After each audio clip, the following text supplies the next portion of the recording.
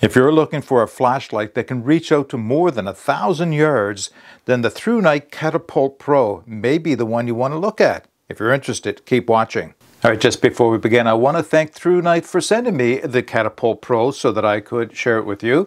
As always, we'll go down to the tabletop. I'll go over the key features for this light. I'll go over the physical and performance specifications as well as the modes of operation. Then, of course, we'll get outside and do some testing. Just before we take a closer look at the Catapult Pro, I thought I'd share with you what it came with. So the light arrived in this box from ThruNite. Inside of the box are some of the usual things, including the manual with warranty information, a USB Type-C charging cable, a small Ziploc bag that has a few spare things in it, like spare O-rings, two of them, two spare battery port covers, a spear on-off button silicone piece for the inside. It does have a tiny split ring inside right here, and that's an addition or an option for installing the lanyard. And it comes with this holster, which isn't bad at all. It's not a super heavy duty holster, but it is sufficient to the task and it will work for holding the flashlight on your belt because let's face it, this is not an EDC light uh, by any means. It's also not a bad way to store the light when you put it away, just to give it a little, little extra protection from damage. Put that away. The other thing I just want to show is the fact that it does come with this lanyard, which I have chosen to install, and I'll explain why in a few moments' time. And the last thing is installed in the light is a 5000 milliamp hour 26650 lithium ion rechargeable battery.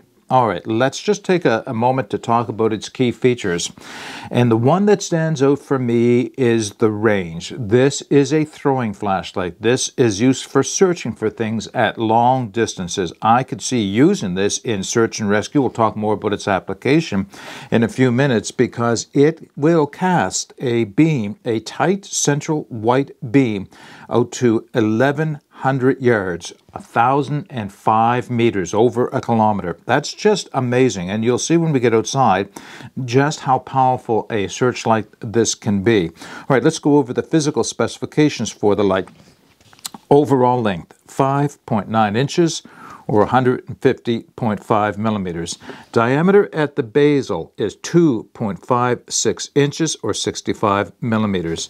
Diameter of the tube is 1.32 inches or 33.5 millimeters.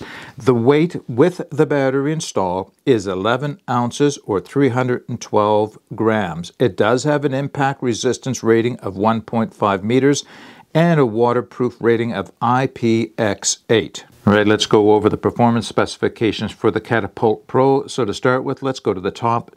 Turbo, 2,713 lumens. And while that's impressive by itself, what's even more impressive, at least to me, is the fact that that will run for nine minutes straight before it drops down to 961 lumens, which will last for another 90 minutes.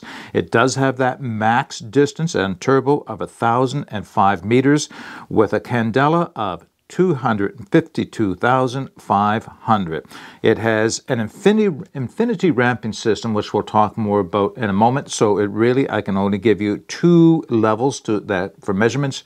So at infinity high, it'll come in at 1482 lumens, which will last for 24 minutes, another impressive amount of time.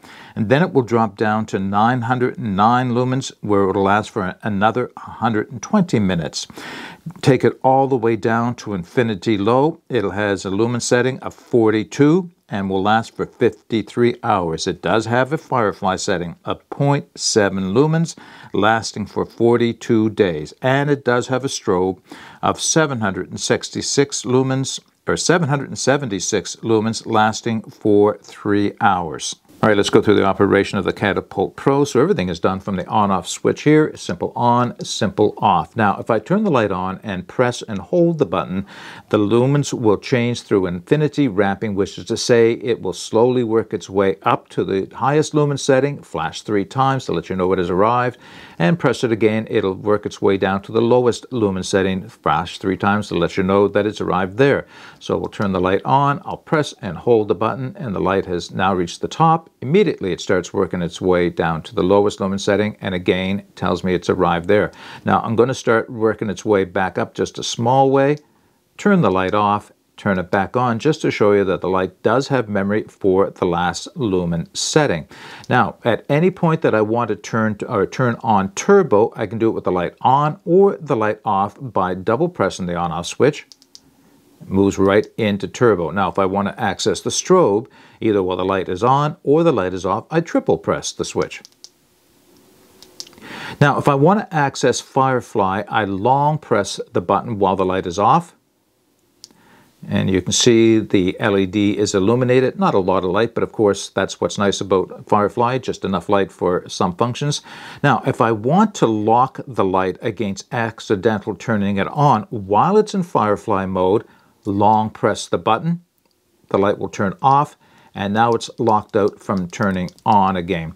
Uh, to deactivate the lockout, long press the button and the light will come back on in Firefly mode.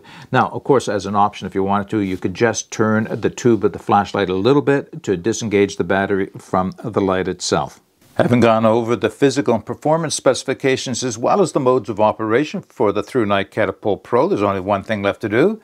Let's get outside and do some testing. Doing some nighttime testing of the ThruNite Catapult Pro. I'm in a sports field not far from my home. This is rather large. There's three or four baseball diamonds plus a soccer field. Just to give you an idea of how large it is, I'm going to start the light off. I'll take it down to infinity low first. It'll flash when it gets down to infinity low. There we go. Now, I'm casting the light across the field to about 100, 150 meters. I can see it touching the trees, but I don't think that's going to pick up on the light. By the way, the lights that you can see to the right half of the screen is in an apartment building roughly 800 meters away. So I'm going to run it up now to infinity high. It'll flash when it reaches infinity high. There, now 150 meters away, I can see very clearly the tree line, the fence on the other side of the field, the soccer field. I'm going to move the camera a little bit around to the apartment building. I'm not don't want to dwell there. This light is picking up a structure on top of the apartment building 800 meters away and lighting it up like daylight. Now, what if I can get it up to turbo? There we go, turbo. Absolute daylight. As far as this light will reach out, I can see clearly. All right, let's see if we can wrap this video up with a few closing thoughts for the ThruNite Catapult Pro. All right, so just before we talk about the pros and cons, let's talk about who this light is intended for. So while I think it is primarily uh, best used by people for search and rescue who are looking for a light that is light enough to carry with them, yet still reach out for good distances, I think this light can also be for anyone who wants to use a light that they can use in the woods or elsewhere for searching things at longer distances. So it's a good versatile light that way. I don't know that it makes a great camp light and because of the weight and size of it, it's certainly not an EDC light, and I'm not sure it's something I would carry around the camp because I really don't have a need at the camp for long distance uh, beam casts. However, there are a lot of uh, situations where I can see this would be especially useful. Now, Let's go into the pros and cons for this light. What do I really like? Well, it is that long beam cast of over a thousand meters. This light reaches out a long ways. Equally impressive is the fact that it will do so for nine minutes before it starts to step down. I like that it has that central white hotspot that helps identify things at those long distances. At the same time, it still has sufficient amount of spill to either side to allow you to pick things up and see those as well. One more thing I like about it is the fact that I can use this with my gloves on. Now, there are a few cons as well as pros that I need to mention.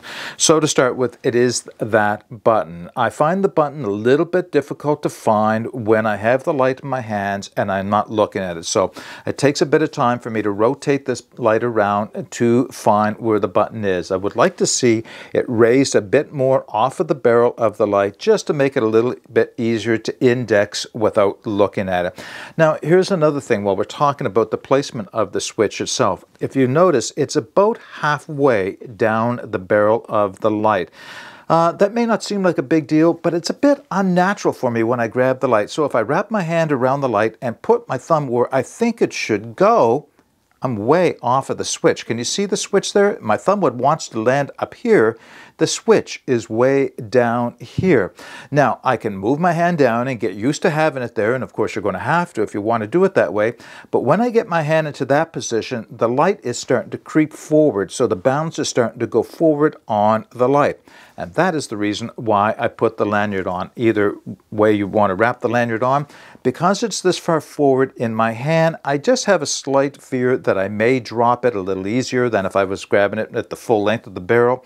So having that lanyard gives me a little bit extra sense of security. Now, one thing I did discover about using the light with the switch here is that I can use it with the center finger of my hand. So I can either use it in reverse grip, my finger lands perfectly on the button right here, or I can use it in forward grip and again underneath like this with the button, my finger lands on the button right here. I guess those are probably my personal opinions on the on-off switch. They're not deal breakers. They're just things to be aware of. And if ThruNite could just make it a little bit better, my recommendation is move the button forward a little bit more, make it stand out a little bit more. So again, those are not deal breakers, just things that you should be aware of before purchasing this light. Now, of course, I'm going to be putting all the information I have given you already in the video description below, as well as links to where you can purchase this light. If you have any comments or questions, please put those in the comments section below. But until next time, get out and explore and take that path less traveled because it will make all the difference. Bye for now.